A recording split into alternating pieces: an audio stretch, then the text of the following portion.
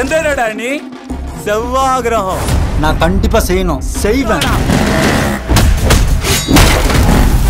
செஞ்சா செம்மையா செய்யுங்க. இல்ல ஊட்ட போய் சமையல் செய்யுங்க.